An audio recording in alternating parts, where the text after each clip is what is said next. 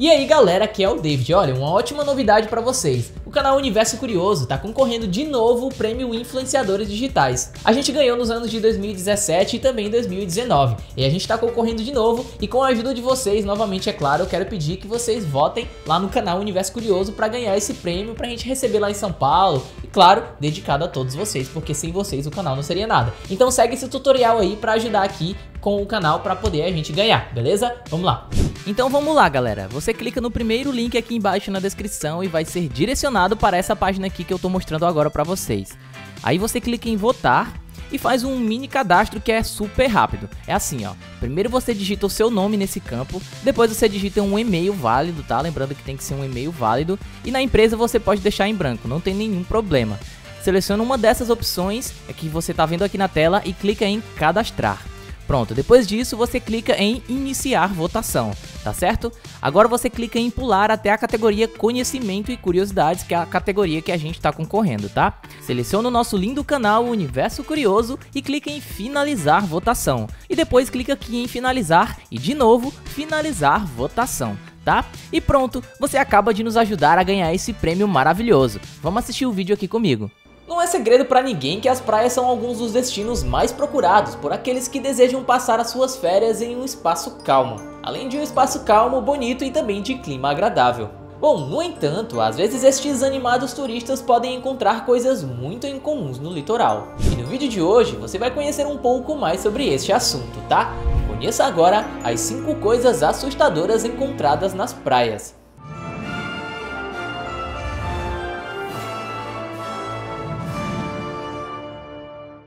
Peixe futebol.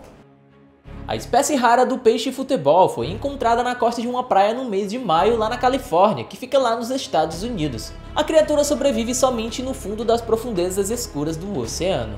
Bom, a informação veio por meio de uma postagem do Parque Estadual Crystal Cove que compartilhou aí imagens deste peixe. Ver uma verdadeira espécie como essa intacta é muito raro e não se sabe aí como ou por que esse peixe acabou na costa marinha. O peixe futebol do Pacífico é uma das mais de 200 espécies de tamboril, comumente conhecido como peixe pescador e possui dentes afiados e pontiagudos similares aí a cacos de vidro. Devido ao tamanho da criatura e sua formação óssea, uma estrutura no topo da sua cabeça que emite luminosidade para atrair presas na escuridão, o parque estadual se diz tratar de uma fêmea. Bom, a postagem acrescenta que as fêmeas podem chegar até 60 centímetros, enquanto os machos são um pouco menores, com até 25 centímetros. A função do peixe macho é apenas para ajudar na reprodução da espécie. Os machos se agarram à fêmea com os dentes e tornam-se parasitas sexuais, eventualmente aí coalescendo com a fêmea até que nada reste de sua forma além de seus testículos para sua reprodução.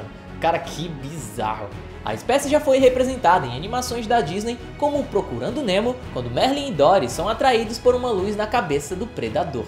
O corpo do peixe futebol está detido pelo Departamento de Pesca e Vida Selvagem da Califórnia para que seja então estudado de acordo com o KFSN, o cemitério no Atlântico. Bom, olhando de cima, ela parece uma grande lombriga perdida no mar aberto.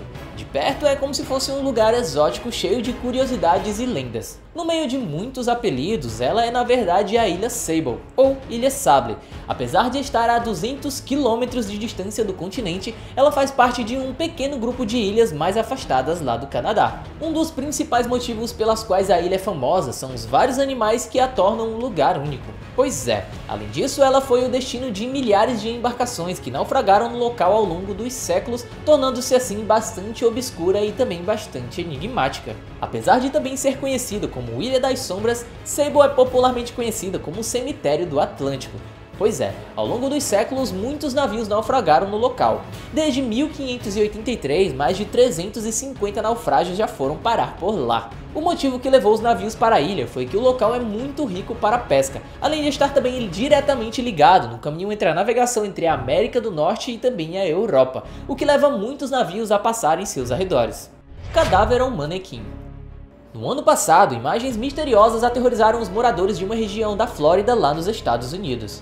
Quem passava pela praia de Perdido Cay se deparava com uma cena realmente apavorante, pessoal. Pois é, aparentemente um corpo completamente coberto por crustáceos e algas. Para piorar, o suposto cadáver estava sem o seu isso aqui, pessoal, sem a sua cabeça e sem os seus braços. A situação rapidamente viralizou entre os moradores, turistas e também internautas, já que as fotos foram postadas na sua rede social lá no Facebook. A cena horrível foi descoberta por Kathleen, uma voluntária da organização Ocean Hour, segundo uma das filiais da rede televisiva CBS e IWKRG. Uma pessoa chegou até mesmo a contatar a polícia. No entanto, a instituição não governamental esclareceu o caso e tranquilizou os moradores desesperados resistentes aí, na verdade residentes daquela região, após ver aí a proporção na qual as fotografias estavam ganhando. Na verdade, tratava-se de um manequim que havia sido retirado do mar. Cara, dá pra acreditar uma coisa tão simples e básica, né? Pois é, em uma postagem no Facebook, a Ocean Hour comentou sobre a situação. Ela falou assim, ó, quanto tempo ele esteve na água coletando crustáceos à vida marinha? Pois é, por muito tempo. E finalizou dizendo que estamos muito felizes por não se tratar de um corpo de verdade. Criatura sem olhos. Em fevereiro do ano passado, foi encontrada uma carcaça muito curiosa na praia de Destiladeiras, lá no México. A criatura não identificada parecia ter uma cabeça de golfinho, mas os seus dentes eram mais a verdade aí do que afiados e curvos do que o de um golfinho comum.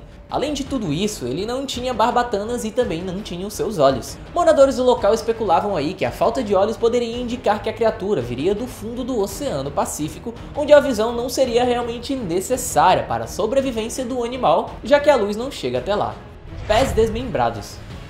O mistério que vinha assombrando os frequentadores da costa do mar de Silla, entre o Canadá e os Estados Unidos, a aparição periódica dos pés humanos na areia das praias parece ter sido finalmente desvendado. Entre os anos de 2007 e 2019, houve o aparecimento de 21 pés aleatórios, todos calçados e completamente desligados dos corpos originais.